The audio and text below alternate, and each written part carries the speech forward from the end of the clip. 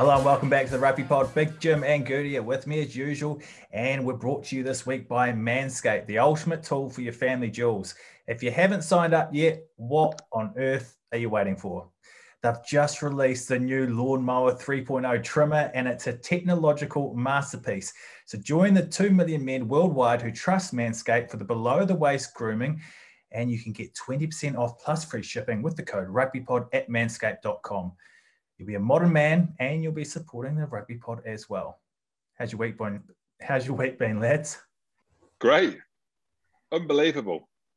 How's it, Jim? You're positive well, this week? Well, Friday cheered me up, obviously. Uh, it feels like a long time ago. I've been at Ruggers on a Friday night. Just doesn't feel the same as the weekend, even though that I like Ruggers on a Friday night. It seems like a while ago, but I'm in a good place, I'd say. Kids are back at school. I've been training. I need some advice, actually, Andrew. I don't know whether you will be the one that could be able to help me on there, but you might well be because you're an influencer. So you probably get stuff going into your DMs left, right, and centre. So as we know, Andy, Andy Rowe and myself are doing the Eton Mess sprint triathlon in yeah. May, and yeah. I've got to take it seriously this time. And Andy Rowe's been pissing himself at me because he's thinking back to the one two years ago where I've got some hot pants on from Decathlon that cost me th- literally cost me three pound. I've got a t-shirt on that I wore when I was 128 kgs in my prime at Saracens. It literally, it literally looked like it was ten sizes too big. So as we know, I've invested in a bike. Um, so I've got a specialized gravel bike, which is great, not custom made. I'd say it's just big enough for me to ride. And I've been pounding the roads. Uh, I say pounding the roads. I've done two 5k runs, but effectively pounding them. Yeah. So I've got a bit of the gear and a bit of the idea, but who is making, and if anyone's out there, and good, if you can't answer this, who is making a 3XL long with padding in the pouch, so it looks like I'm absolutely massive, um, a tri suit that I can go in the water, I can then get out of the water, probably first or second, onto the bike, off the bike, onto the road, and I look a million dollars and I look like Malakai Fekitoa, basically all in one, all in one package. Well, with the, quad, with the quads and his middle quad as well. Exactly. I just want to look massive and not like an absolute circus act. Which I mean, I imagine there'll be a part of that. So it's only around the corner, and I've got the bit between my teeth. My hair's growing back. We're slowly coming out of lockdown. I look amazing. And we've got this on the horizon, the Eton Mess, and I want to smash it. So, Goody, we'll put it out there. If anything comes into your DMs about where I can get a triple XL long with a pouch, yeah, is it a tri- I don't know what a tri suit is. If it was bib shorts for cycling, I could I could point you in the right direction, but they're the things that just come over your nipple. So it's a bit of a Borat suit, but then it is obviously got padding and on your horse and protecting your gooch as well. So um, yeah, tri suit, a tri suit. I've got no idea, mate. I don't do triathlons. I can't run. Do you both have to shop at special places because you're bigger? What what are you on about, Andy? Bro, I am. I've lost eight and a half kilos down to tweak meals, to be honest. Um, before Andrew, you would have you before Andrew. I've seen your feet that used to kind of you, you wear them loafers and they kind of. I've never seen feet. I've never seen feet that flap over the top of shoes. You know, like as in they're spilling out the sides. But, well, I mean, what do you mean? I got voted back in the day at Leicester Tigers. They did the ideal rugby player in terms of body parts um, and it was like the best looking guy. I can't remember who it was. The best arms, the best. Uh, Jim, you weren't anywhere to be seen. I got the best feet. I had the, I had the nicest feet at the time. Uh, voted for by the physios and uh, the rehab lady, Julie Hayton. Um, I had the best feet, mate. So abuse anything about me apart from my hair and my feet. That's all I care. The rest of it, fill your boots on because it's horrible. But my feet are all right top to bottom. I have to genu- genuinely. I I'm if I wasn't a real life giant, I would be so trendy. It would be on beyond belief. It, I really would.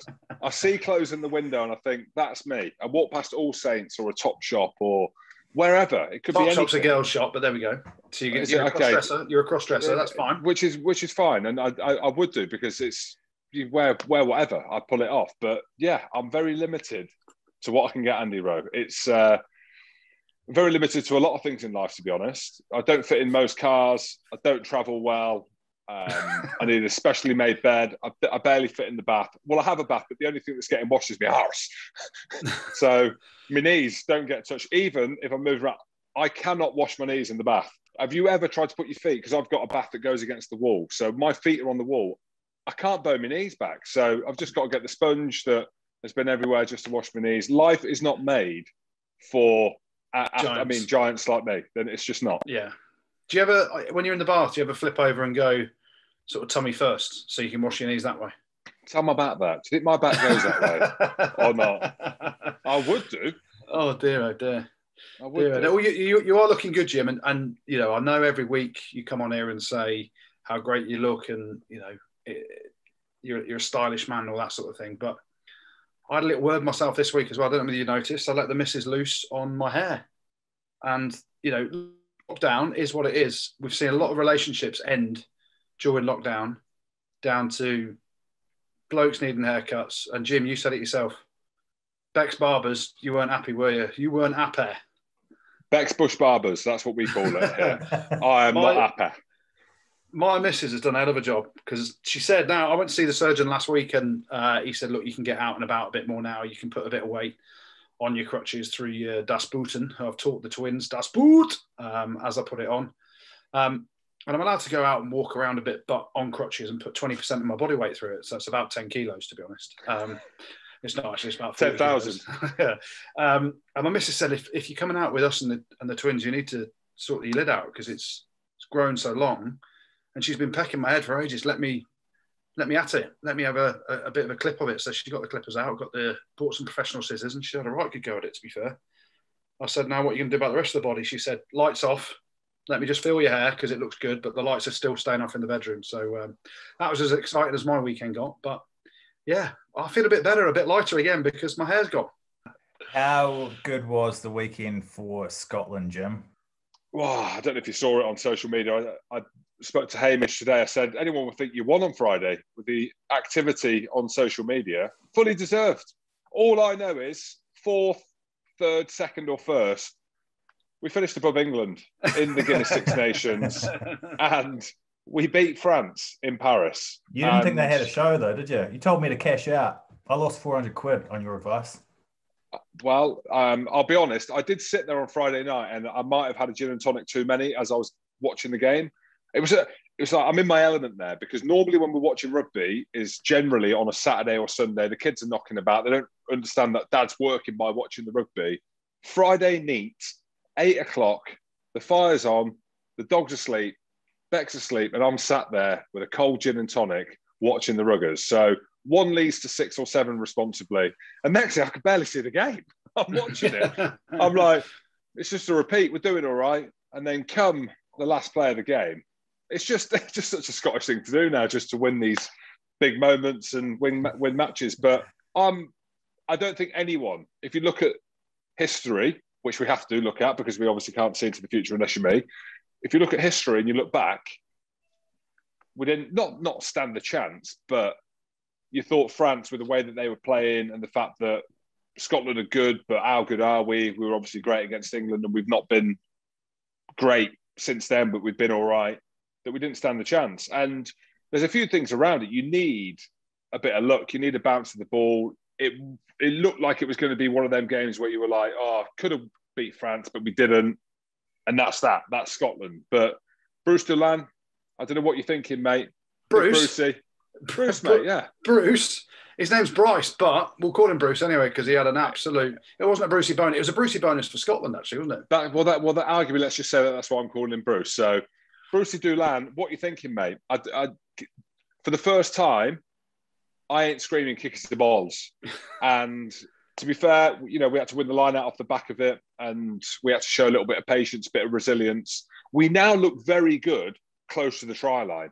Now, anyone who's watched Scotland before would have seen that we've got ourselves in really good opportunities, but when we need to score or when we play against the big power teams, your England, Ireland, everyone in the Six Nations apart from Italy, we struggled to convert. But when it mattered most, and we've got a player like Duhan van der Merwe who can kind of score out of nothing and score in a bit of traffic, we're just good now. Yeah. We're good, and it's made the Six Nations very, very interesting. But from a selfish point of view, and a patriotic point of view, and a bandwagon point of view, and a Lions point of view, I'm happy, obviously, uh, and it did set up the weekend nicely. I was, yeah, it was obviously took the wind out of the sails of, of Wales winning it, obviously on the day or whatever, because the game was, was postponed. But I think the Six Nations as a whole was as good, arguably, as it could have been.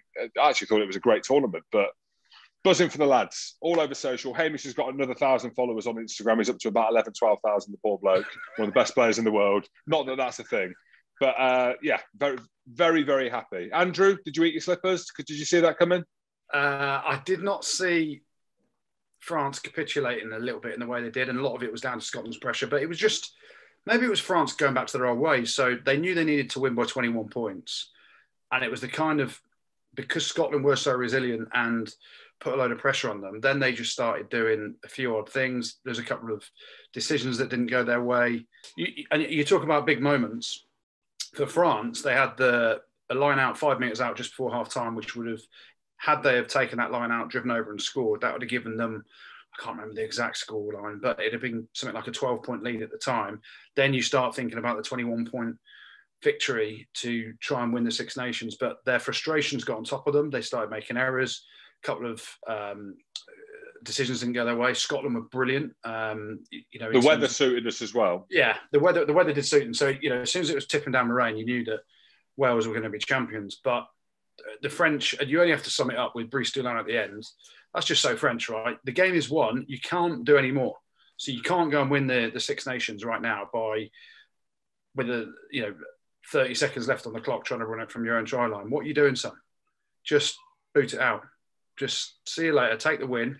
But fair play to Scotland. Van der Merwe, as Jim said. Um, I mean, what a unit. I would love to see him in all his glory because he is a man that it's just probably has got everything, hasn't he? The full package, he, I'd say. he looks like he has. He looks like he has. And look, some people are complaining about Duhan van der Merwe playing because of his South African blood, heritage. He's South uh, African, uh, effectively. Uh, mate, Hamish Watson's English, but don't worry about it. Yeah, but with a name like Hamish Watson, mate, you're more Scottish than Hamish Watson. Yeah. Um, so, in that sense, but we need look. He's a player that we need in terms of a point of difference. Yeah, very um, good yeah, you can, you can do something out of nothing. What do you make of Finn Russell's red card?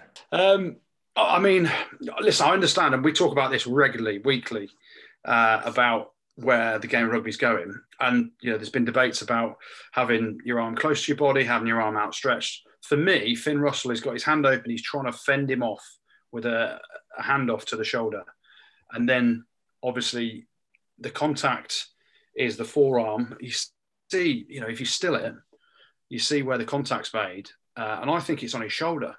I was very surprised with the process that Wayne, Wayne Barnes, best referee in the world, but he can only go off the pictures that they were showing. And again, in France, you don't get all the pictures. I believe there's a picture from the other side, and I've seen it, and I've seen a replay of it now from the actual way that Finn Russell's attacking. So from you know face on, where his hands out open, trying to fend someone, and it's an accidental rugby incident where he's landed, you know, and, and the contact's risen up to, to Brice Dulin's neck. So I'm glad it didn't change the course of the game, and I'm glad Scotland won. Um, but Say again. Me, I'm glad Scotland. Well, of course I want Scotland to win, mate. I don't like France. Oh, okay, fine. Sorry, I just I've, I've never heard you say that before, but thank you. Yeah. Um, well, I, did you not see on Twitter? I put out "Come on Scotland" with some Scotland. There were so there were so many tweets coming from your Twitter engine that I, I just only picked up about three or four out of the hundred that you put out. well, that's the kids go to bed. You just start tweeting, don't you? Um, so yeah, I, it, for me, it's not a red card.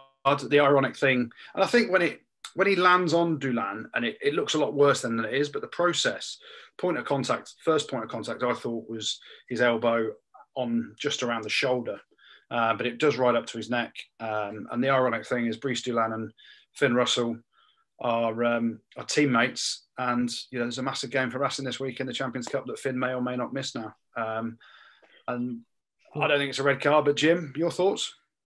No, I don't. There's no point even talking about it now because it, there's obviously one a week at least, two or three a week that we we could speak about. But I was just like, yeah, it's not a red card. IMO. It's there's not a huge amount of force. You know, it's not a head on head. It's not a shoulder on head it's just it's it's a rugby incident without sounding like a fruity dirt like it. But it, maybe it's my fault. I text Barnsley in the week, and my last message to him was Barnsley, whatever you do, have a good game, but do not send any Scots off. And then he obviously sent our best player off, arguably. So it didn't have much effect. Obviously, France had a yellow card as well in the last few minutes of the game, and we won. So it doesn't matter. it's history. I don't mind. I don't care. Jim, how do you assess Scotland's Six Nations? Uh, above England. Above well, they finished fourth. Yeah, fourth. I mean, it's the best Six Nations they've ever had, but they still finished fourth. Well, no, we uh, finished third when Dean Ryan was coaching and I was playing as well. Statistically, I, I, read it was your best ever Six Nations as a country. Well, uh, because the most points. I well, don't even know how that works. Either way, you're celebrating like you won it, but you finished fourth. But you did finish above England. I think you go based on the performances Andy Rowe. I think we've been brilliant. I'll be honest with you. 52 points oh, against Italy, massive win against England, 38 years of hurt. We've not beat France since what 1999 was it or something as well, and Paris. So we beat them. The only bad game was the Ireland game. Really, could have should have beat Wales. Red card in that game. So in the Lions year, when Gregor was under pressure, I'm happy. I am happy. What I'm even happier about, we need to give a shout out to the guy who did Stuart Hogg's lid. He must wow. be on cloud not. He must be sat back at home, looking on the internet, on eBay, wherever you buy Yacht Bay from or whatever, thinking, "Come to me, baby." It. I've that's, made it. That's nearly as big as a Spotify deal. But to be fair, here's a stat for you, Jim. Sorry. To be fair, here's a stat for you, Jim. Scotland missed out on the Grand Slam by six points. All right. That's how close you were to a Grand Slam. Yeah, Six points. Yeah. In the two defeats that cost you a Grand Slam to Wales and to Ireland, the margin was six points. Six points away. From How far England? How far England? About, about 300, I think. But yeah. Well, as you know, we'll be moving over to Spotify in the next couple of months. And just to confirm, the pod will always be free on Spotify and they're going to be supporting us to grow and do more. It's pretty exciting for us. So head over there and get involved. And with our move over to Spotify, we'll be stopping Patreon. So, firstly, a massive, massive thank you to everyone who supported us on there over the last few seasons. And if you want to get your fix on more quality rugby content and listen to some of our best Patreon episodes from the past few seasons, you can still do so by heading over to the 15.rugby. It's a new site with some of the best rugby writers and content in the world, similar to what Athletic have done for football.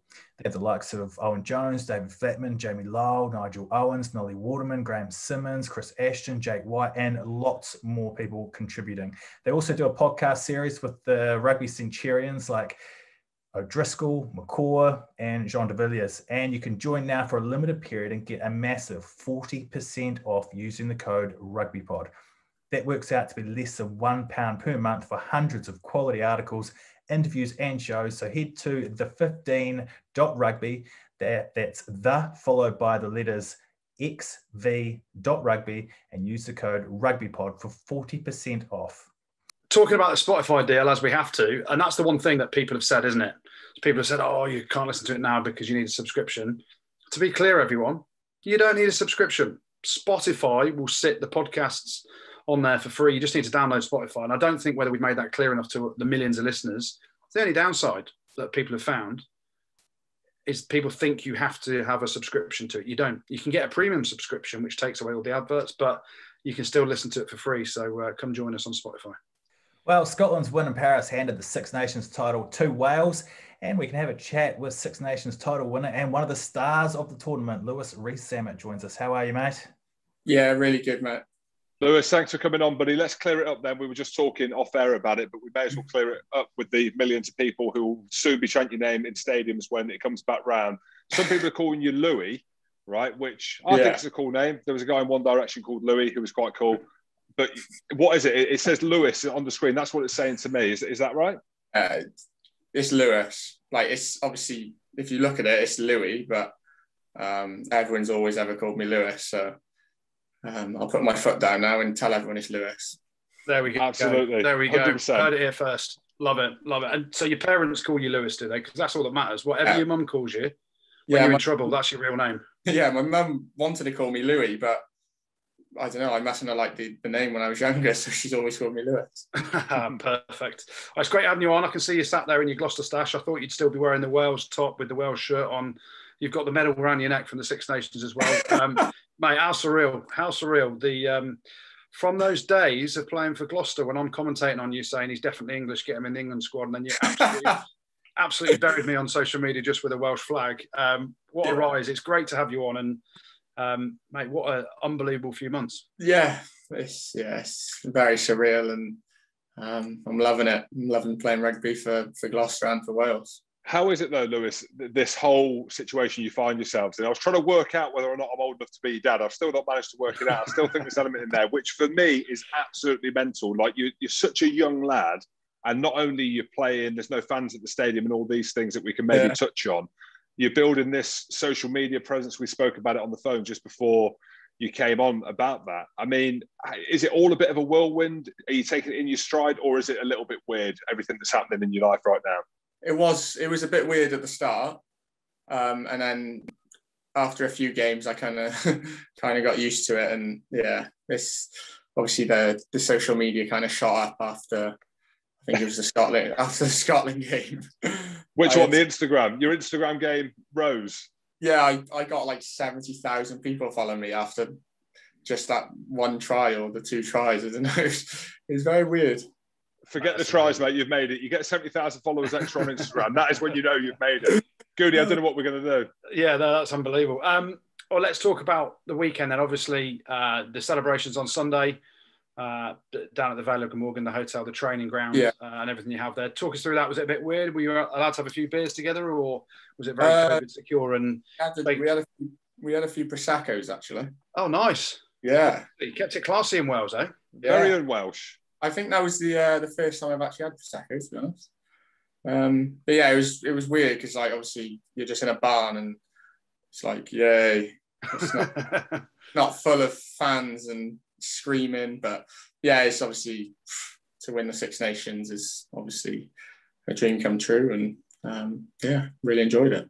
Yeah, I bet you did. Unbelievable scenes. Do you think it was easier for you and uh, the transition from being a club player coming through and they're not being fans. So you could just go out there and kind of yeah. a little bit less pressure. Did it feel that way?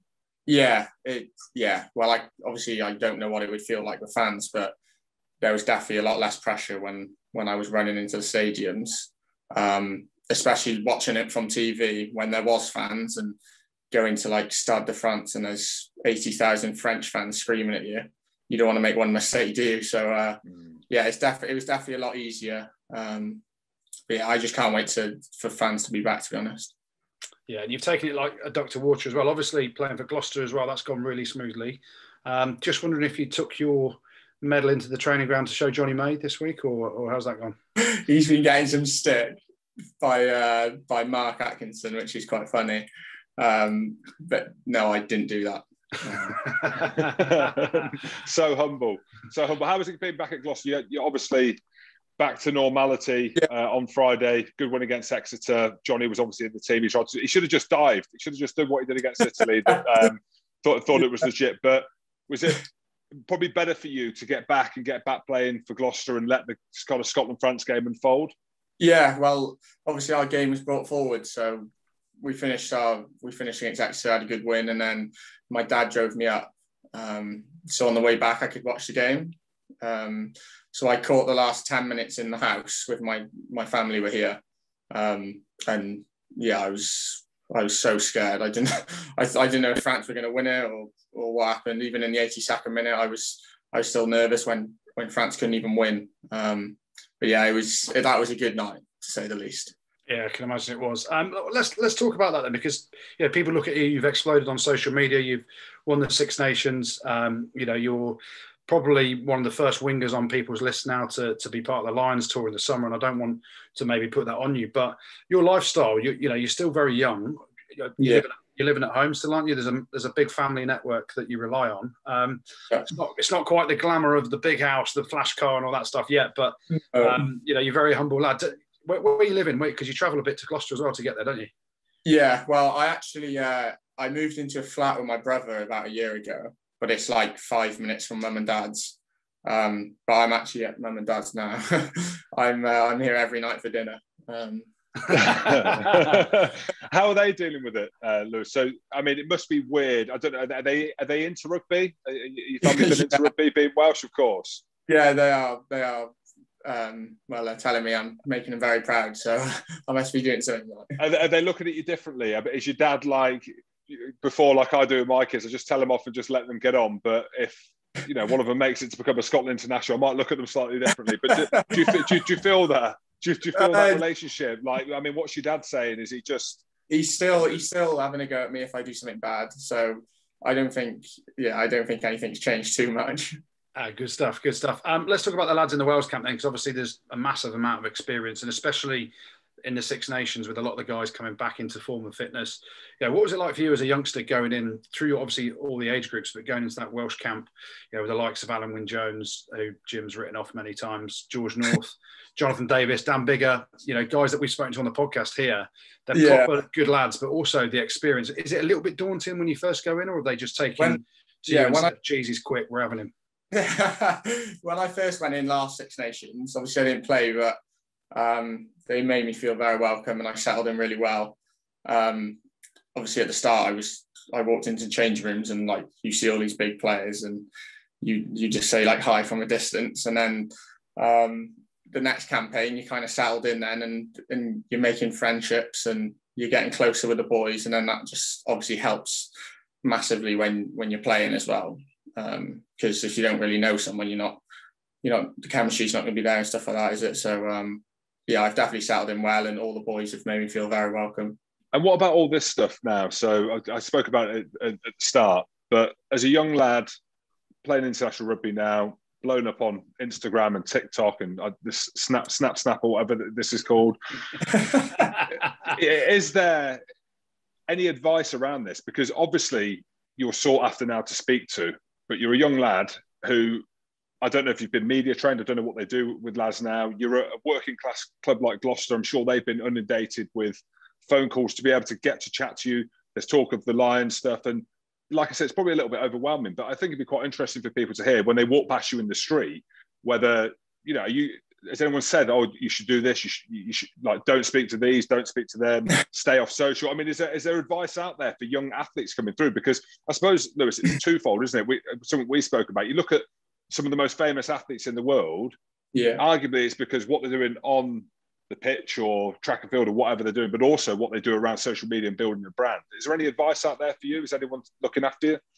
Uh, yeah, so obviously you've got your agent stuff like that, and then but I, I didn't actually get much media training because I like everything's happened so in such a short period of time, and like obviously loads of people asking to to interview you or something like that. So I've just been using like every interview as like a training training method or or something like that. Um, but yeah, there's definitely advice out there. Um, few the Gloucester like media team have, have been speaking to me, um, but they choose who I like do podcasts with, who I do all this stuff with. So I'm not just constantly doing it, and I don't really, I don't try and focus on. I just try and focus on my game, and um, well, I've only just got back from training, kind of thing. So um, I do have busy days. I'm not uh, just sat at home doing nothing. Um, but yeah, I'm, I'm thoroughly enjoying this like professional rugby and um, yeah, I'm just trying to keep on doing what I'm doing um, and and let them kind of deal with who I speak to, kind of thing. Yeah, very wise, very wise. Um, but also, uh, a source of knowledge that you could tap into. Um, rumor has it that you were dating Paul Scholes' daughter at one point. Um, I hear I hear you're single now, but did Scholesy ever try and get you to play for England? That's all I need to know because he is English till the cows come home. Yeah, he, he had a word with me, but it wasn't. It was, going. It was going in one ear out the other. So. Uh, yeah, and how's he? How's he getting on with rugby? Is he? Did he enjoy a bit of rugby watching you? Obviously coming he, through. Yeah, he'd actually never watched rugby. He'd never watched a rugby game. Um, and then he watched me for the first time. I think it was Exeter. We played Exeter at home last year, and that was the very first rugby game he'd ever been to. Um, so yeah, he, he, said he enjoyed it, and he, he still watches the games actually.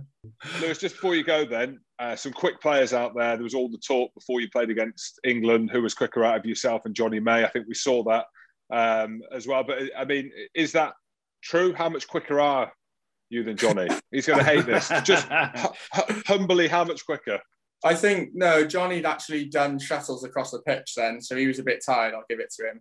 So uh, I was a bit more fresh in in that race. Um, but yeah, on another day he could beat me. I'm not sure. He's he, at the end of the day, he's my teammate. I'm never going to say who's faster because we don't know. Yeah, we do know. we know, we know it's you. We know it's you. Uh, does he? Just a quick question on Jonny May. Then, does he still make the chicken noises around the training ground? Is that is that still going on, or is it, has that been beaten I think, out? I think that story's died now. I I don't hear that. Get it going again. Get it going again. Definitely. And last thing I will ask you then. Um, it's a, obviously a massive year. We can't get you on the podcast and not ask you about potentially playing for the Lions. Your name has been sort of banded around as one of the form players in the Six Nations, which you know rightly so then links you with a Lions spot. How much would that mean to you, and and you know the phenomenal opportunity that that would bring?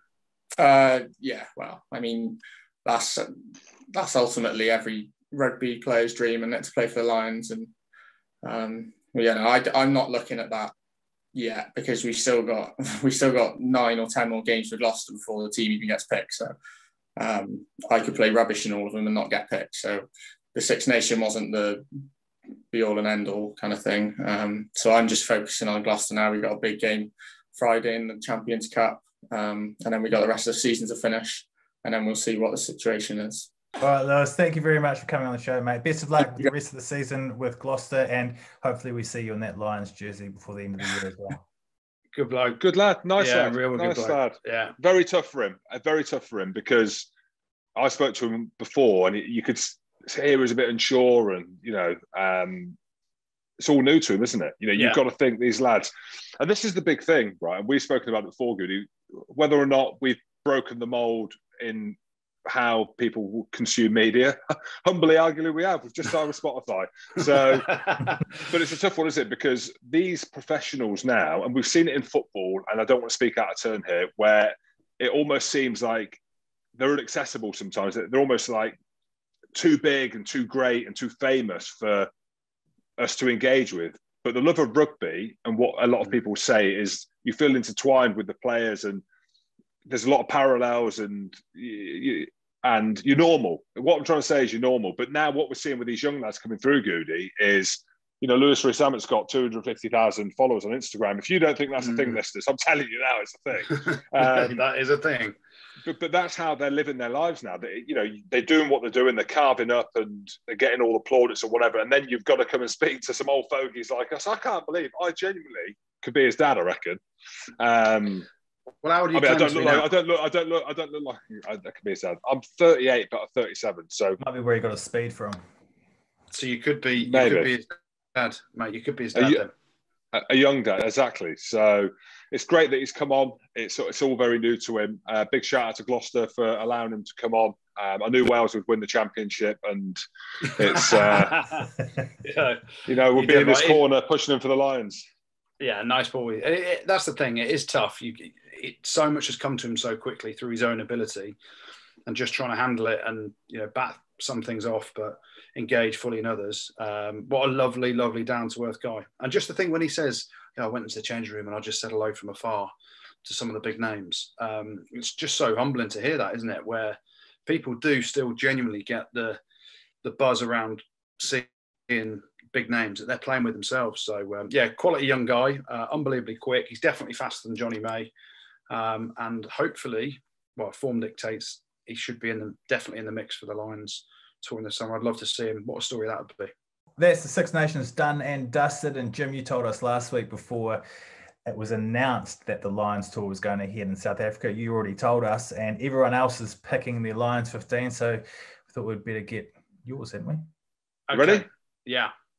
Do- Are you going to nod or just say yes, or just do I just Well, give I've you done every my- player? I've done mine as well, mate. So you know, we could debate. We could do. I mean, first of all, How about you both rattle rattle through them, and then afterwards work out the differences. okay, okay. so we'll go one to fifteen then, Jim. All right, you go. I'll go first, then you go first on the next one. Okay, so I've gone for Wyn Jones of Win Wales. Jones. People, Wyn Jones. people, have you gone for Wyn Jones? Yeah, I've got three I names. written down. I tweeted that that after week two, and people are sending me laughing emojis. I don't know whether Yeah. it was laughing or crying. Yeah. I had three loose heads Wyn Jones, Rory Sutherland, and Cian Healy, but I've gone with Wyn Jones. Okay, we're going to start at fifteen. I'm I'm just hitting you with. I don't want to name check anyone else because I just want to hit you with All right, what I Win know. Jones it is. Uh, hooker, I'll go first. Ken Owens. Go. Oh, okay. Jamie George. Nah, not on form. You're picking him because he's your mate. No, mine's a bit of everything. Mine's not just mine's. I'm going on just form. I'm going on Lions 15. If you're picking a, a test match to start tomorrow, this is why. I'm going off the back of what we've seen, knowing that Jamie's got a big game against Ampthill coming up and he can play his way into the team. You picked So- your mate. Just say it, mate. You picked your mate. Carry on. Tight head. stepper at tight head. Tadhg Furlong. Yeah, same. Easy. Tadhg Furlong. Easy. Easy decision. It is Second going to be the interesting one. But these the back five is the most interesting. It'd be interesting Tough, to see it? what us experts. You go first. Uh, Maro. I've put Maro Itoje in there, so I'll Yeah. give you my other luck after. As captain, no, not haven't. I haven't.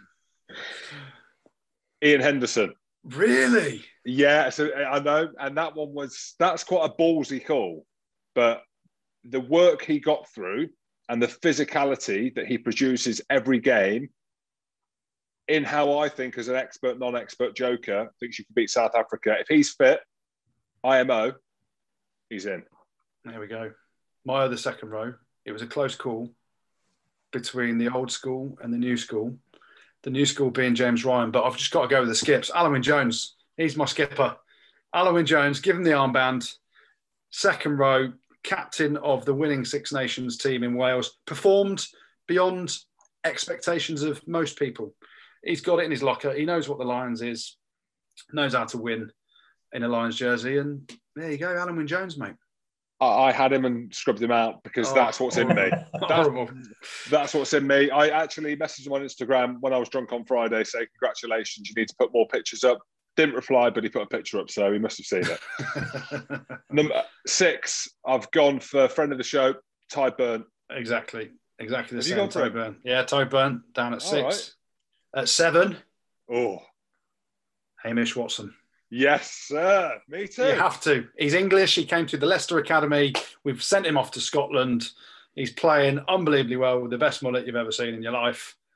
Uh, it's close call between him and Tom Curry and also Tipuric and the VD. It's loads of them, but I just went with Hamish Watson on form. Yeah, there's a few Sam Underhill as well. But anyway, we're not talking about the outsiders at the minute. Uh, we're talking about the insiders. Uh, eight, your go.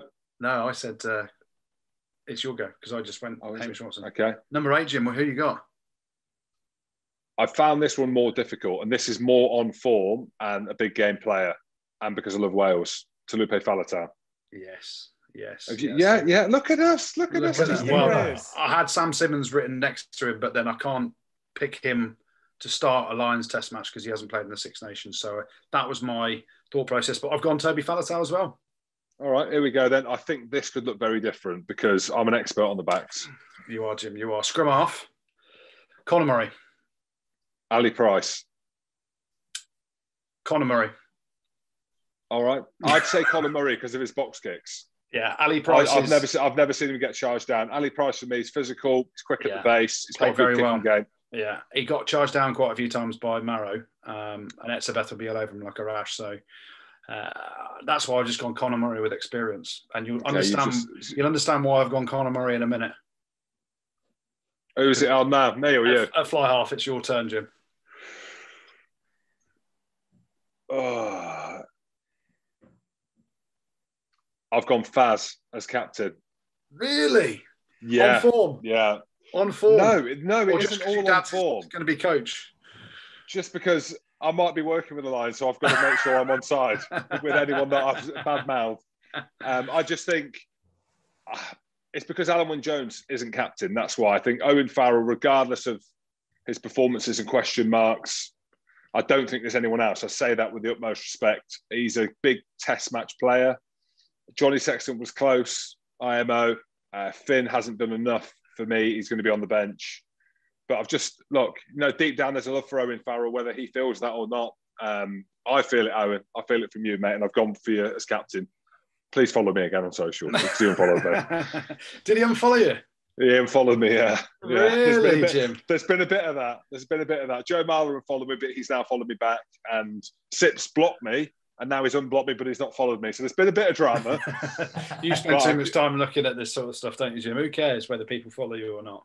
But it cares. Oh, it, matters, it matters to you, doesn't it? It matters to building the brand, Andrew. That's it, mate. go. And it's you who got me into that, not the other way around. Uh, fly half. I really wanted to go. I really did. Uh, I've gone Dan Biggar. I could, I can agree. I can nod to that. Dan Biggar. Um, I don't think you can pick Owen Farrell on any form at all. Uh, I know, listen, if we go in test match animals, but this is what Eddie Jones did. He picked what he thought was the right player, whether they're playing well, in form, out of form, whatever. And, and look where that, that got us fifth place and our worst ever Six Nations. So um, I, couldn't, I couldn't pick Owen Farrell because of that. Sexton got knocked out again at the weekend. Uh, I thought about going Sexton. So I've gone for Biggar at 10. And we're not naming our bench, but I'd definitely go Finn Russell on the bench. Oh, int- controversial. Unless you've Mm. gone for Faz at twelve. Nope. Where we go now? we going centres or we going wingers? Let's go. I generally go centres. Okay, okay. Uh, my centre pairing, and then again, you can't put someone in like Manu Tuilagi. He's not played yet. I Uh, think we might agree on this. You know, On form and on what we're going to face, I'm going Robbie Henshaw and Jonathan Davies as a oh, centre so combo. close. Robbie Henshaw and Jonathan Davies as a centre combo. I've gone Robbie Henshaw and Chris Harris. No, you, what, what, which one you're not liking? Oh, I know which one you're not liking because you've Well, agreed no, with me I, on one of I like Chris Harris. Charis is a great lad. Played with him at Newcastle, made his career. I said, mate, go for Scotland because um, you know, similar to you, Jim. It's like, mate, go and play for Scotland now look, because it's an it's an easier way to get capped um, than play for England. he's Joking. big, he's physical, and he is quick, quick. But but he, Jonathan Davies, oh, sound horrible. How fit is he? If he if he is 100 percent fit, why are you being he- horrible? I am, I am. Joe, change it, change it. No, don't. Chris Harris, I stick to my guns. Wingers, then, Jim. Wingers. I realised when I was putting these down that maybe I don't know much about the back play because I wanted to put Keith Earls in desperately because of how he's played. If you're talking about in form, but I didn't. I went Okay. for Duhan van der Merwe and Liam Williams. no, Liam Williams is eh, he's on the bench. He's coming on. He's he's skinning Cheslin Kolbe when Cheslin's got a sore ankle. Yeah, I've gone George North. on the uh, wing. Yeah, and Duhan van der Merwe. Look at you. North was. I was North was close to going in the centres with Henshaw, but I love I love Jonathan Davies. I think he's a great player. Um, He's So, a good lad as well. yeah, top boy. So I've gone George North on one wing and Duhan van der Merwe on the other wing. Rees-Zammit to rip Right. it up off the bench as well. Um, should we just say the 15 together? I mean, it's obvious, isn't it? Stuart Hogg. Right. Hogg, my old lad. Ready? Stuart Hogg. Stuart Hogg. Stuart Hogg. Boom. Boom. And captain, Andrew? I've gone for No. Faz as captain. No, I've gone uh, Wyn Jones as captain. Oh, of course you have. You said that, Yeah, yeah. yeah. Why am I being so Uh, horrible? Hoggy, I, listen, I, it's so difficult to captain a team from fullback. You can't. um, especially in you know something like this. You can for Scotland, uh, but yeah, I just think Lions. It's got it's got to be Big Alun Wyn, isn't it? For me, You've, have you named Faz as captain as well? I have, but it's. I, I can't. what you have there's no what you one have else to hear? out. What are you after here? You, Just you're obviously follow. after. So you've picked a couple of Saracens boys in there that are in no form whatsoever. Is it something to do with the houses again? Is it something to do with the investigation from uh, HMRC around It is, players? it's to do with I want Faz to follow me and retweet the interview I did with Andy Powell because I know he would have liked it. I know he would have loved my chat with Andy Powell right up his street. there we go. There's our Lions 15s.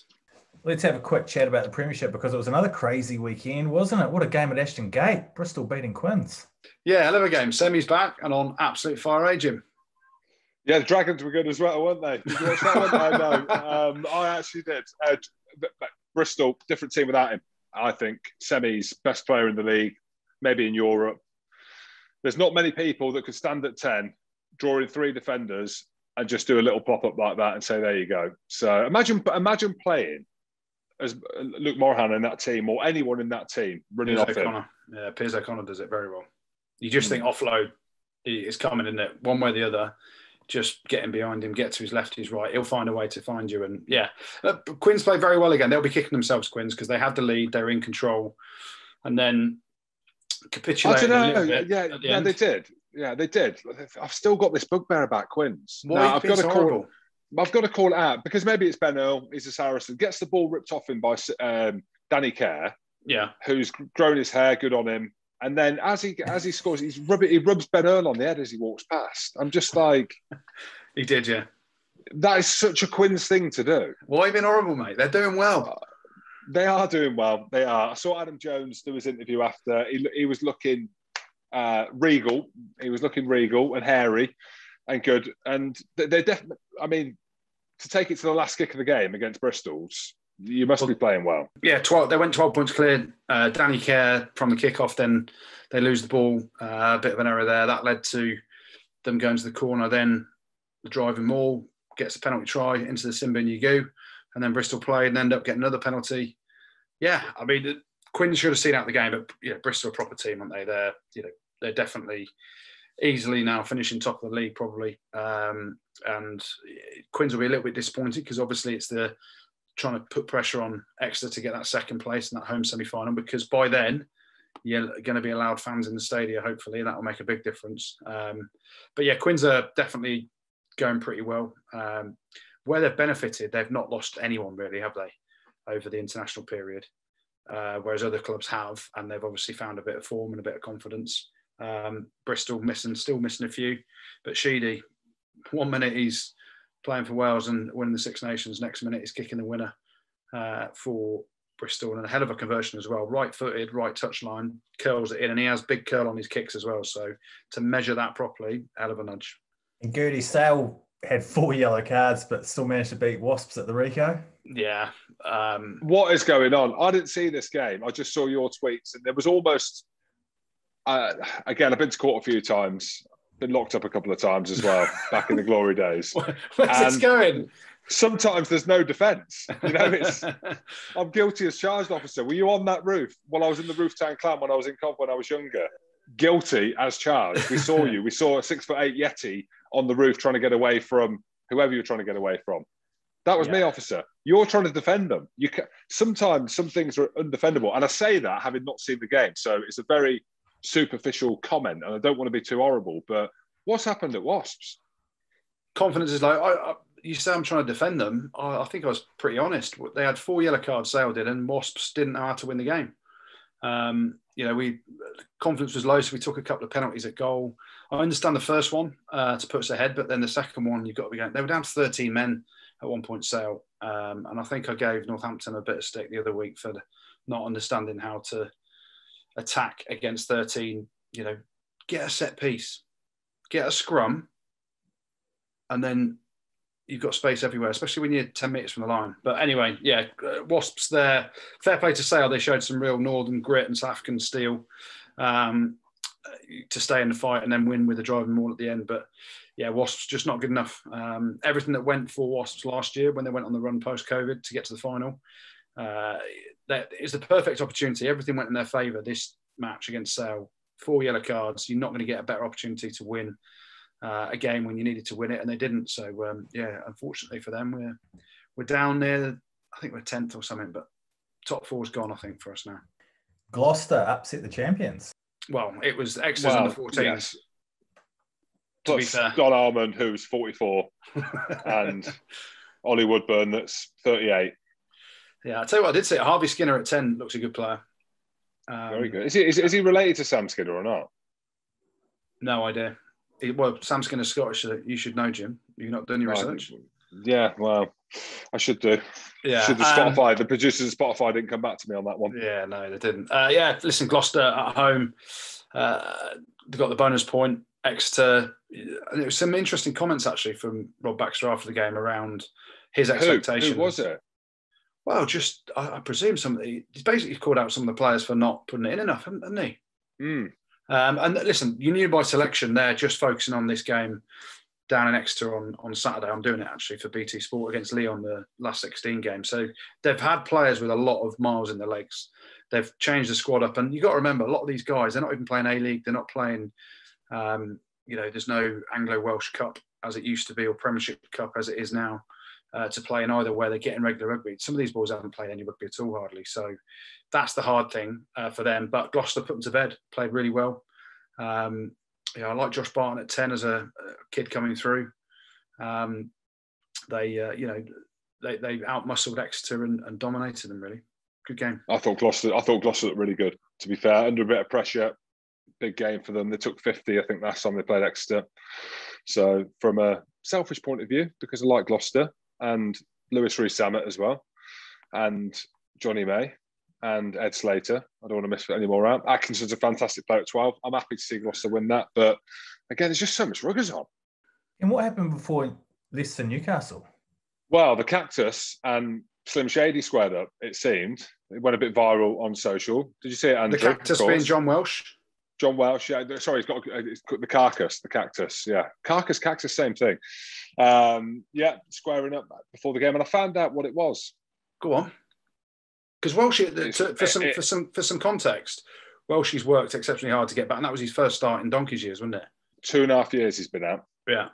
With yeah. all sorts of injuries, awful injuries. He's fired up. Him and Genge, him and Eminem are looking at each other. It's like when they're having a wrap off, you know, in the Eminem film Eight Mile. It was like that and Ellis Genge has thrown an obscenity out to John Welsh. One of the just something disgusting. Go on. What did he say? He's Scottish. He called him fat. Oh, he's gone for the fat line, has he? You can't. That's a bit mean. Horrid. What did Horrid. he say then? So he just said, he said, "Oh, you're fat." Oh, give me the words, Jim. Fatty. I don't know. I don't know, but it's pretty horrible. I'll tell you one thing though when John Welsh did come steaming in angry because he's been called fat, don't fat shame people. But when he's come in and they've gone not head to head, but the approach was made, Genge backed off a bit like he shat himself, didn't he? He did. Don't a bit of context. I'm mates with John Welsh. I'm good mates with John yeah. Welsh. I was there when he got capped for Scotland against Italy. Chunk pulled out in the warm up against his calf. We're in Rome. I've given this speech about we're in Rome together. We're in the Colosseum. If we die, we die, and all that. And then John Welsh. I've never seen a man more red. It was 45 degrees. he had an unbelievable game. Started at loose head. I call him chicken ball. He calls me noodles. I think he's married to a Chinese lady. Obviously, I'm a quarter Chinese, so there was some some kind of thing that bound us through Chinese menus. Um, but I'm a big fan of John Welsh, and like you said, we, I don't want to laugh about this next thing because he's dislocated his shoulder, right? Yeah. So it was nasty, and I know that it, he feels hard done by. I think a lot of the Newcastle players probably feel hard done by by Jasper Wiese's entry into the ruck. It's cheap. It is. Um, Karl Dickson looked at it, almost brushed it off, which I thought was a bit of a shit thing to do. And maybe it's because I, I, I love John Welsh and I know his story. Two and a half years he's been out for. Signed a deal with Gloucester before COVID. Uh, David Humphreys then leaves. That deal is no longer there. He hasn't got a job. Newcastle give him a lifeline, and he trains extremely hard to get that opportunity to start against Leicester. He's obviously fired up for the game, gets pinged for two scrums, or the Newcastle scrum gets pinged a couple of times. Early engagement. And yeah, but I, I, disagree with it. Like, I'm not just saying that. Like, obviously, I'm a Leicester fan as well. But then Jasper Wiese, and you see the, the, shit thing about it, and this is the thing with Danny Care rubbing Ben Earl's head after he rips the ball off him. If you look on the TV, Jasper Wiese, him and Harry Wells fist pump after. And I'm just like, you know, as one of the artists who have done it and one of the most physical to, to have done it, you know, you've got John Welsh lying there injured, whether or not you know his backstory or not. Like it's just a shit thing to happen. So, yeah. you know, I, think... I messaged Diggs, he's not come back to me. Uh, you know, about the there's a look, Leicester look very physical now. One of the positives about them, my goodness me, around the maul, around their breakdown, they look vicious, right? In some of the stuff that they're doing, which is great for them. They've got a few South African players in that pack now, which really had the physicality. But you know, you've also, and we love Genge. He's a friend of the show, and on the live show. You've got to, you've got to go about your business in the right way. You've got to go about your business in the right way. And I question Leicester now. A few things that have happened around that of, of being hard and physical, but then having an arrogant and a bit of a, you know, acting like knobs, really. Mm. Yeah, it's interesting. And I think in Karl Dickson's defence, because I did think that looked horrible, and you feel for John Welsh, when they checked it and he looked at it, and the TMO said actually his his actions of of entry into the ruck are illegal. So where he's come from is illegal, but actually what he's done in terms of the clear out is legal from a contact point of view. So he, you know, had he have tucked an arm and flown in as we've seen with some other players. I mean, don't talk to Chris Ashton about cleaning out rocks at the minute because what it was he as well. but had he tucked an arm, that would have definitely been foul play. So the difference between foul play and it's a it's a it's a grey area because ultimately the foul play, uh, the understanding that referees are, are saying is it has to be something illegal in terms of a the, your technique of clearing out, not your entry point. So yeah, I mean I completely agree with the sentiment of it. Um, you know, obviously there was things said around John Welsh and um, you know the, the pre-match stuff with Ellis Genge and you know Jasper Wiese is a, a, big powerful boy and seen an opportunity to go and belt someone in the ribs which yeah doesn't look good and you dislocate his shoulder off the back of it because he's in that position of of trying to you know go for the ball and, and jackal for it it's yeah it's it's not good at all and you just feel for massively for John Welsh and hope he can recover as quickly as as you can. But you know, discount your shoulder as a tighter prop is is something pretty bad, isn't it? And Leinster senior coach Stuart Lancaster joins us. How are you, Stuart? Yeah, all good. Thanks. Thanks for the invite. Lanny, thanks for coming on. It's been a while. We've been trying to get you on for, for a uh, while, so it's it's great to have you. It's been a long time since we looked at each other back in Dublin. Um, it was a night out. I saw you, you saw me, and uh, I think I was heading into a nightclub and you were just dropping off. So uh, it's been great to see you from afar doing your thing over in Dublin. Uh, how long's it been now? How long have you been over there? Uh, yeah, this is uh, five years in um, September, which is amazing, really. You know, I signed, I signed um, for the end of the, well, I signed in September 2016 uh, and just signed for the one year. Um, uh, the defence coach had left Leinster and Leo was looking for someone to come in to take his place. Um, Matt O'Connor had just left, obviously, if you remember, um, yeah. prior to Leo taking over. And then uh, things went well that first year. We didn't win uh, a title. In fact, we lost two semis. We lost against Clermont and then lost against Scarlets in the Pro 14 uh, semi. Um, but then by then, you know, I sort of really enjoyed it. Signed for another two years. Uh, and then following year, we did the double uh, which was fantastic. And the year after, obviously, we lost against Sarries in the final, and then, um, uh, but then won the Pro 14 title against uh, Glasgow. Uh, and then, so signed for another two years, which takes me up to now, and then just re-signed now for another two years. So I'll make it seven. Lovely, wow. lovely, cool. The big thing for me is clearing up this this night out that Jim keeps talking about because he mentioned it. He said, Lanny looked at me and, uh, you know, I looked at him and we gave each other a nod. I don't believe that you even knew who he was, Lanny. I reckon that's the true story. You didn't even see him. I, I think Jim's, Jim's got this thing that made it, made, made it outside, turned up, was rocked up in some like souped up car and dropped off by a chauffeur. I turned up in a rickshaw bike with my wife and kids on the back of a, a few beers in Temple Bar, to be honest. But um, uh, yeah, no, I, it's the last person on earth. I, I was trying to negotiate my daughter and a friend into Copperface Jacks of all places, and I was going. What place? Like, well, I've not actually made it in to be honest, Andy, but uh, uh, yeah. But uh, yeah, I think most people in Dublin have. But um, it's a fantastic city to live in, and um, just love it. You know, the Irish people, um, the craic here. Obviously, you know, COVID's massively affected every community, but uh, you know, Dublin really is you know, it, it's built on you know the pubs and the nightclubs and the restaurants and the the environment and people going out and having a good time. You know, so it's really been felt over here. Yeah, you get to enjoy that, Lenny. Do you get to enjoy that, Lenny? Because obviously, being a coach is a full-on job. We've got the easy job, haven't we? We come on here and make up stories about nights out in Dublin. do you know what I mean? It grows our arms and legs over the years. But I look at it, and obviously, your story is quite an unbelievable story. And we're not going to talk about five years ago and all these things that are now resurfacing. But how difficult is it being a coach and actually trying to enjoy it? And uh, I know that you're you you love coaching. It's it's not just a job. It seems to be more than that. But and are there times when you enjoy it when you win these championships and you've got to go and win the next one and you've got to keep the momentum going? Are there moments where you can sit back and and actually yeah, yeah, reap what yeah, you saw? Yeah, sure. Obviously, clearly, when you when you coach in England, you know, the intensity and the scrutiny around the role and, and everything that goes with it is it's a pretty all consuming job, really. And, you know, you do sometimes, you know, you, you, look back now and you think, geez, you know, beating the All Blacks and some of the amazing Six Nation games that took place in, in all the four years, you know, I was there. Um, and we did enjoy the moments and I did it, uh, you know, but I, I promised myself after the World Cup, I really would enjoy the moments. Uh, and being over here, you know, you're a little bit under the radar a bit uh, and the Irish are very unassuming anyway, so they don't, they don't come and bother you uh, if you're out having a good time with your wife or your friends or whatever. Um, but the main thing for me has been trying to hit that sweet spot between loving the job, which I do, and trying to commute backwards and forwards to Leeds to see the family. Um, Nina still lives in Leeds. The kids, Sophie's at Newcastle uh, Uni, uh, Newcastle Union, and Dan's at Leeds, but he's playing. He's doing well with his rugby, you know. And, and it, the COVID things meant I've not been able to commute since July, really. Um, but yeah, you know, when, when we're over here, it's you know, no one bothers you, and everyone just you know lets you get on with your own life, really. So it's great.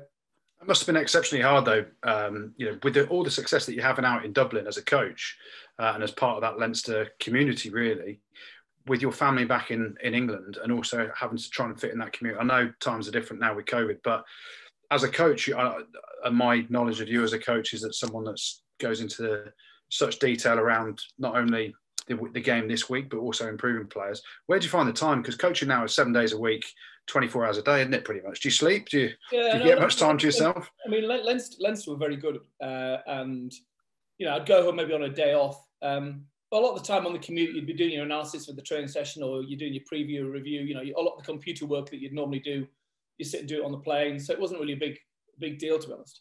And, uh, you know, the, the time away from from work as well. It's family time is important as well. You know, again, you know, learning after the World Cup, making sure you get that that balance right. Um, now, now, obviously, when I'm in Dublin and I can't commute, um, it can be a bit all-consuming. So every night you're on your own.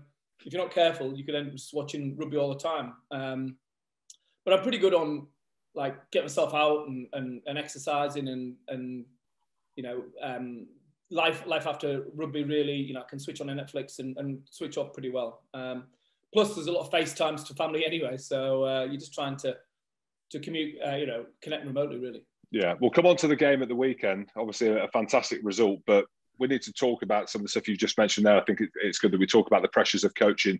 You you would have if you're on social media or you've seen social media or you've read anything to do with the news, the kind of pressure that Eddie Jones finds himself under. Sport's very fickle, right? And again, you'll know that more than anyone. What, what, what, are you thinking about Eddie Jones and, and what he's having to deal with now? Is it just part and parcel of being head coach of England? Yeah, yeah, it's definitely there's definitely an expectation. I mean, I was in some ways when I started, I got the interim job, so I had less less of that immediate pressure that, that could sometimes come on. And you know, we won four games out of five that first Six Nations, mm. um, and we had um, we actually ironically beat Ireland by about 30 odd points at Twickenham in the last game. So but then we went to South Africa, uh, and you know, it was very early in my tenure, quite a young team, and we lost two narrowly. Then we drew, we drew the third. Then we came to the autumn internationals. I remember, I think we lost the first couple of games, and we had New Zealand coming around the corner. So the media were beginning to build this narrative of, you know, four games, five games without a win, and this, that, and the other. And then fortunately, we beat New Zealand, and you got that sort of breathing space that you needed to sort of kick on. And the next Six Nations, we won four out of five, and and things sort of you know, it kept it kept kept the media at bay, so to speak. Um, you know, again, I was lucky that you know every Six Nations we were that close to to nailing it, but we won four games out of five every Six Nations. You know, so when you when you're at England and you you come in second bottom, I think pressure will come on, irrespective of what's happened in the past. Um, and clearly, the team are feeling that at the moment. Yeah, and definitely. And I think the only thing that would have taken us from four out of five wins to five out of five would have been picking me, Lanny. That's all you needed to do, mate. That's in my in my dreams. Um, yeah, well, let's uh, talk. About... I actually went with Charlie Hodgson to start, but uh, maybe that was the mistake I made. I could have got that. oh, you got it right. You got it right, you def- Lanny. You definitely got it right, mate. I'll be honest. Um, Charlie, Charlie, yeah, it, he started to save the day actually, and uh, I picked Owen at twelve, and uh, uh, obviously then Owen came through, and George was always in the you know, obviously, but by working in the age grade pathway with, with England, I knew who was coming through, and with George and um, obviously Henry Slade was coming through as well, and a lot of good, talented players. So I knew what was coming, but it was just trying to accelerate their development and speed up speed up time.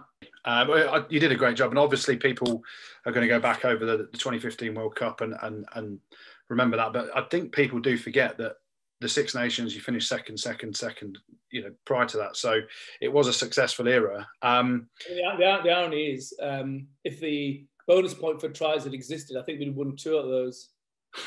yeah. So, yeah. But, but uh, yeah, no, like I say, I, I, look, I look back, you know, um, obviously with regret at what happened at the end, um, but but with a lot of pride when I see the team doing so well, you know, in 2019, and obviously the Six Nations 2016, everything else that came with it. and the younger lads who were one cap, two caps when I took over, were now 60, 70, 80, 90 caps who are leading the team. Yeah, definitely. Was the one point that you look back on and go, I wish I'd have just changed that? Or was it just something that, you know, I was working over the World Cup for in the media and stuff, and it was, you know, effectively boiled down to, you know, draw, not drawing that Wales game to, to qualify for the knockouts. And is that the one moment, or is it something else that you think there was more to it than that? I think, I think uh, I probably would have liked a bit more cohesion going into the World Cup. I'd, I'd have had one more warm up game for sure. You know, I actually met Eddie after the World Cup, and um, one thing I said was, you know, I think, you know, one more warm up game. I think uh, Owen was injured. Owen Farrell was injured during the whole of the Six Nations 2015. Um, and that sort of combination of playing George and Owen together, you know, um, let's say some of the younger players who I knew were, were going to be talented, but were still breaking into their, getting regular slots in their Premiership clubs. Um, but overall, you know, I felt we were going into it in good shape, and you know, we had a tough pool, and unfortunately, you know, we we lost a game that, you know, I think if you play it many times over, you'd win it more more often than you'd lose it. Um, Yeah. And you know, the consequences, obviously, uh, well, we know what's happened. Yeah, it, it, because I, I weren't going to bring it up, but while we're talking about it, we may as well. Chris Robshaw did a thing for BT Sport. I don't know if you've seen it. Um, and spoke about his captaincy and stuff like that. But you must have been approached loads to talk about it. I've, I've not really seen much where you've spoken about it. So the fact that we've got you on here and we're speaking about it is unbelievable for us. But how much do you think? You know, a lot's happened for you personally and successes at Leinster, but much thought gone into that 2015, the kind of fallout and the stuff with Burgess and all this stuff that's happened after. Have you just let, let it be and just move forward, or is, it, is, is there an underlying things that you think about and want to say? Yeah, yeah, obviously. I mean, with all due respect, again, I'm not going to give you the exclusive now, unfortunately. the, Wait the for the book. I'll give you the overview. But uh, no, I actually, personally, I'm, I'm quite old fashioned in, I guess, I think a lot of things that go on inside camps and inside changing rooms and inside private meetings should remain that way. Um, and I also believe in keeping my counsel and, you know, I'll, I'll, pass on the lessons learned to the people who I think it's really important to. And I've done it to um, coaches, I've done it in, in private settings, I've done it to other sports. I had a, I had a call um, a while ago with Gareth Southgate, the England soccer team, in the lead up to the World Cup. Um, I had one not so long ago with England netball, the Commonwealth Games coming up, uh, home home Commonwealth Games. Um, uh, England cricket, you know. So, of course, you want to pass on what you've learned. Um, it seems illogical to me to to have been at the RFU for eight years and uh, four years as head of elite player development, Saxons running the academy program, England coach for four years, and not to pass on what I've learned to coaches. That's illogical, you know. But I wouldn't, I wouldn't, I wouldn't use the media as the platform, personally, um, because I think, I think uh, um, there's a privacy about about certain things that I'd never share anyway. Yeah, Yeah, definitely. good on you. Yeah, definitely. It's a good good way to be. We completely agree with that. Although we wouldn't have a podcast if we didn't talk to people. So thanks for coming on. Yeah, no, no, I get it. um, let's talk about the news from the weekend. And then obviously, congratulations on uh, the fourth title on the spin. You go over to Leinster, and it's no coincidence that they start dominating and winning things. Um, how good was the game at the weekend? It was never going to be a try fest against your your big rivals in Munster, but it was a hell of a ding dong. Um, and actually, you know, it seemed from an outsider's point of view, you rewarded a lot of the players that have got you to that final, as opposed to relying on just the internationals coming straight back in. It must have been, you know, a really good feeling afterwards. Yeah, it's a bit, a bit of both, really. I mean, one of the challenges with Leinster is that obviously we have so many international players. You know, I, I can't actually think of a club team in the world that provides so many internationals. You know, we had 18 in camp.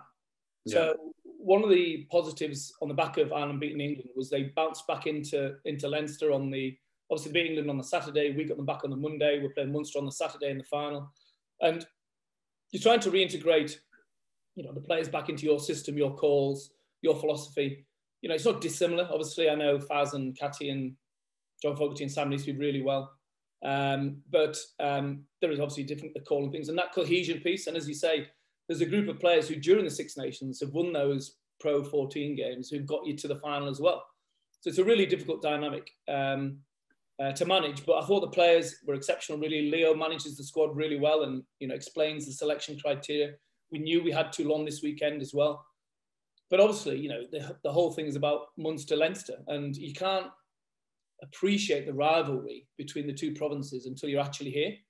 Um, you know, I guess it's you played in games, you know, in England where the big, you know, whether it's a Leicester or Northampton or a Yeah. Bristol or whatever, you know, it's that and more. And obviously, in this particular game, there was a lot riding on it because Munster were at full strength pretty much, um, and we're playing really well. So it was a massive game for us. So to play, the scoreline doesn't reflect, I think, you know, the uh, the quality of the performance. I think we put in. I thought we defended exceptionally well, no tries.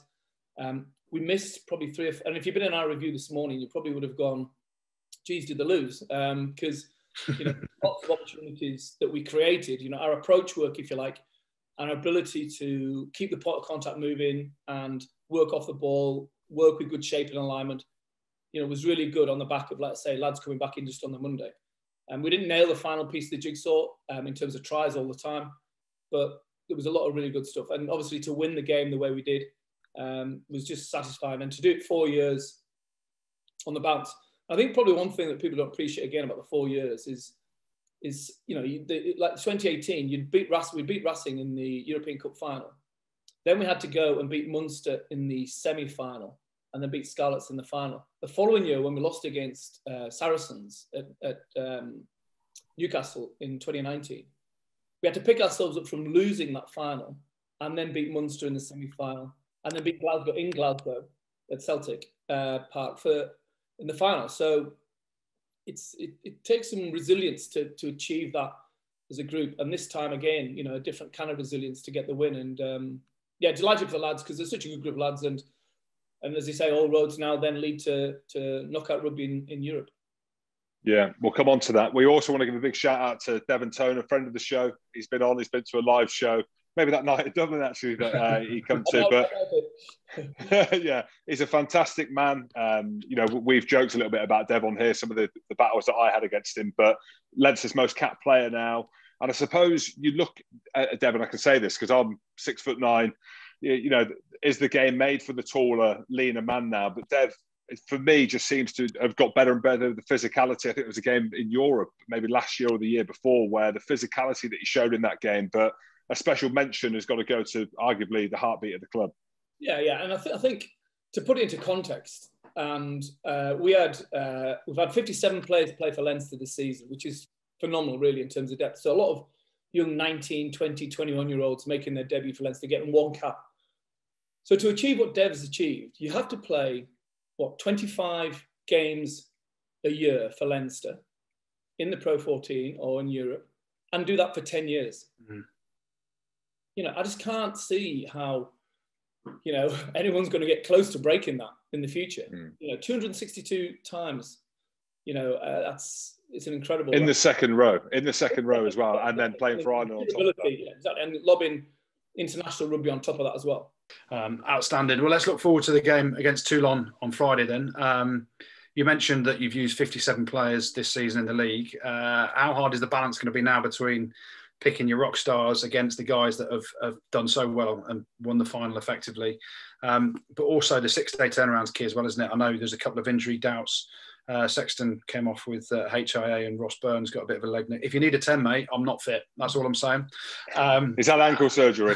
how, do you, how do you see the game on, on Friday? And, and is a six day turnaround after a final? Is it again just a, a test that Leinster will take in their stride, or is it something that as a coach you think, geez, that shouldn't be the case? Yeah, it's not ideal. It's not ideal. Um, you know, a lot of the English clubs, you know, look at Exeter, for example, you know, they rested and, you know, they can they can go fully loaded. But in some ways, you know, you're getting back battle hardened ready players from the England game. Obviously, you're into Munster and then you, you go on, you know. And I think, you know, the side we picked for Munster, you know, we had Tadhg Furlong on the bench, but we started Andrew Porter, Ronan Kelleher, Rhys Ruddock, who was just in squad for Ireland.